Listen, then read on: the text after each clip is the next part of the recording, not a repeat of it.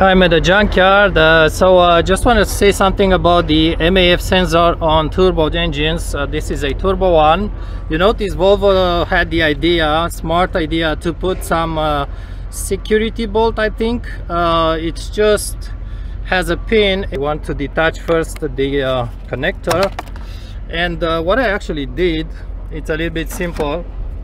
Just grab my pliers and it's not exactly very quick but it does work. You can just grab the edge here. You notice it's, it does turn and you are going to rotate it uh, little by little.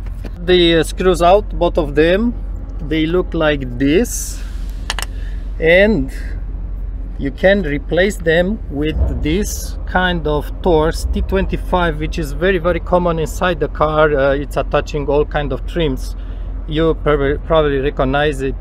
So you get one from your car or from the junkyard somewhere and it fits very very nicely in there. No longer need to reuse those uh, security ones. You should be really good with this guy. Just uh, use two of them.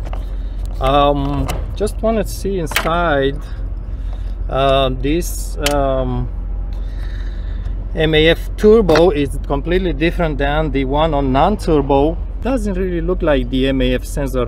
MAF sensor are even smaller than this.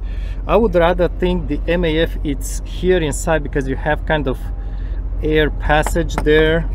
Let me just get the flashlight and it seems there's kind of a wires in there um, if you do go ahead and uh, use a spray to clean it I would recommend you spray inside this hole and maybe spray to the other guy too but uh, I guess the MAF camera doesn't focus but the MAF would be inside that hole. It's really really hard to see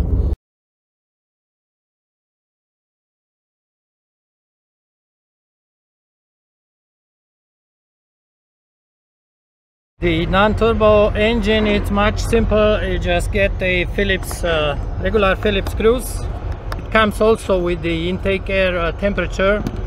IAT sensor is going to be at the same place. Uh, they are different. Turbo is one kind, non-turbo is different kind, so we cannot swap them. Um, this one here, what you can see, this is the intake air temperature sensor, uh, IAT that's the temperature of the air uh, coming to the engine. And right inside there you have two small wires. And that's the MAF wires. You can see one of the sensor right now. There's a second one by uh, by the side of this one. Uh, it's just that the camera angle would not uh, would not show it